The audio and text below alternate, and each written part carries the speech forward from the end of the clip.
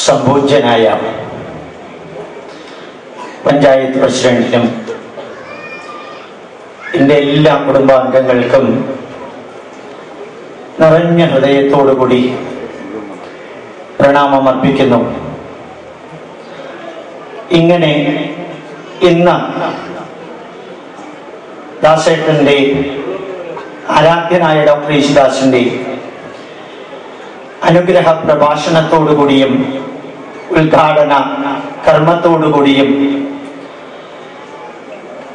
ഇങ്ങനെ ഒരു ഉദ്ഘാടനം ജ്ഞാനപീഠം അവാർഡ് സ്വീകരിച്ച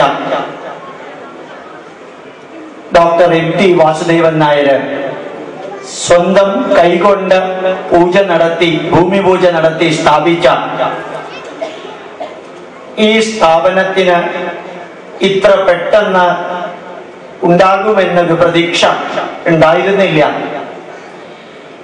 വളരെ തുച്ഛമായ സമ്പത്ത് മാത്രം കയ്യിൽ വെച്ച് ആരംഭിച്ച ഈ സ്ഥാപനം ഇന്ന്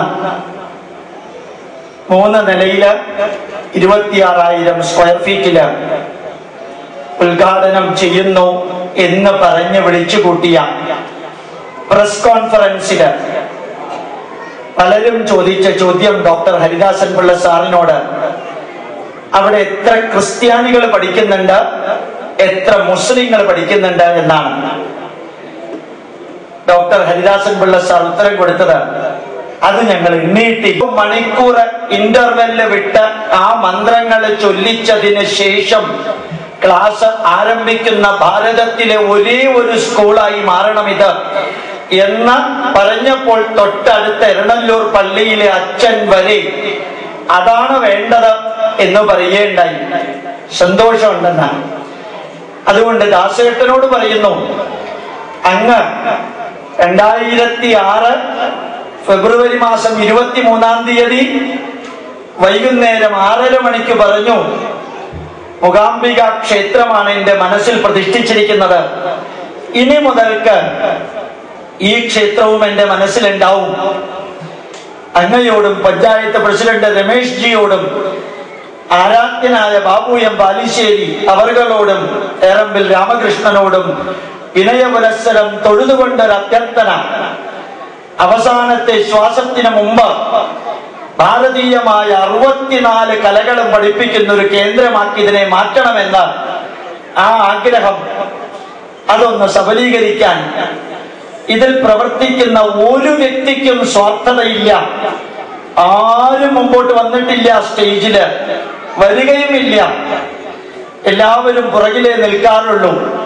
ഈ രാഷ്ട്രത്തിന്റെ പതിനായിരം വർഷത്തെ പാരമ്പര്യമുള്ള സംസ്കാരത്തിന്റെ അവകാശികളായ ഭാരതീയരോട് പറയണം ലോകമെമ്പാടും കൈകൾ രണ്ടും നീട്ടി സ്വീകരിക്കുന്ന ഈ പൈതൃകത്തിന്റെ അവകാശികൾ ഇന്നറിയാത്തവർ ഭാരതീയർ മാത്രമാണ് ഭാരതീയർക്ക് മാത്രം അറിഞ്ഞൂടായി ഇത് ഞങ്ങളുടെ പൈതൃകാണെന്ന്.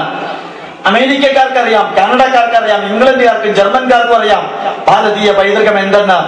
നമുക്ക് അറിഞ്ഞൂടാ നമ്മൾ അറിയണം അങ്ങ് ആരാധ്യനായ യേശുദാസ് ദാസേട്ടൻ.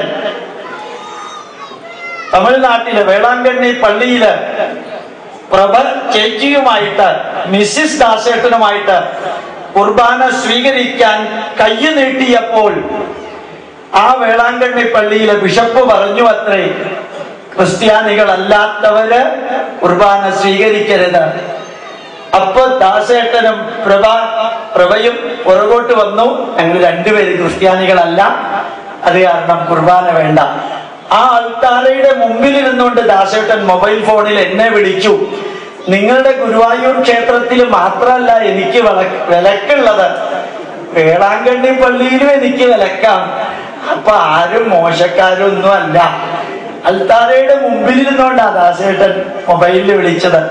അതും ഇന്ന് അദ്ദേഹം പ്രഭാഷണത്തിൽ പറഞ്ഞപ്പോൾ എന്റെ സഹോദരനായ ഗോപാലകൃഷ്ണൻ എന്ന് പറഞ്ഞ വാക്കുകളും ചേർത്ത് നിറഞ്ഞ ഹൃദയത്തോടു കൂടി അമ്മയോട് പറയുന്നു അറുപത്തിനാല് കലകളുള്ള ഭാരതത്തിൽ ഇരുപത്തിയേഴ് കലകൾ സംഗീതവും സംഗീത ഉപകരണങ്ങളുമായി ബന്ധപ്പെട്ടതാണ്. അത് ഇവിടെ സ്ഥാപിക്കുന്നു എങ്കിൽ അങ്ങ് ആരാധ്യനായ Padma Bhushan doctor K J Yesudas പേപ്പറിലെങ്കിലും അതിന്റെ വൈസ് ചാൻസലറായി ഇരിക്കണമെന്ന് വിനീതമായിട്ട് അഭ്യർത്ഥിക്കാം. ഇവിടെ വരണമെന്നില്ല. പേപ്പറിലെങ്കിലും അങ്ങയുടെ ഫോട്ടോ വെച്ച് അങ്ങാണ് അതിന്റെ വൈസ് ചാൻസലർ എന്ന് പറയാനുള്ള അവകാശം ഞങ്ങൾക്ക് തരണം. അത്രയും അധികം അങ്ങയെ ബഹുമാനിക്കുന്നു ആരാധിക്കുന്നു. അങ്ങ് വരുന്നു എന്ന് കേട്ടത് മുതൽക്ക് എല്ലാവർക്കും ഒരേ ഫീലിംഗ് ഉണ്ടായിരിക്കുന്നത്. അങ്ങക്ക് നിറഞ്ഞ ഹൃദയത്തോടുകൂടി ഞങ്ങളുടെ എല്ലാവരുടെയും പ്രണാമം പ്രണാമം പ്രണാമം.